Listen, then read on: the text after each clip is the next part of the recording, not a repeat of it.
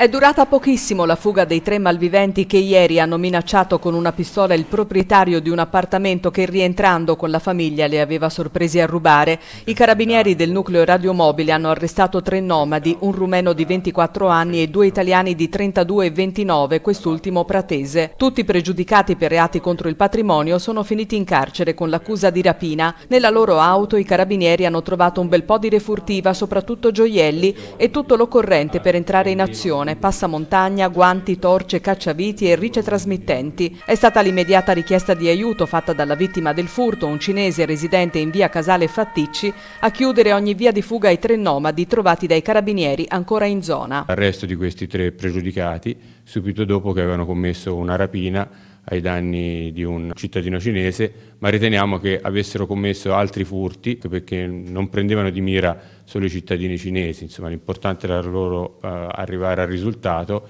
entrare nelle abitazioni, prendere quello che era possibile prendere, eventualmente anche minacciando, opponendo delle reazioni anche violente. Furti in serie dunque, questa l'ipotesi, almeno a giudicare dalla quantità di refurtiva sequestrata e in parte già restituita. Il cinese è potuto rientrare subito in possesso di due giubbotti di marca del valore di 1.500 euro, di 460 euro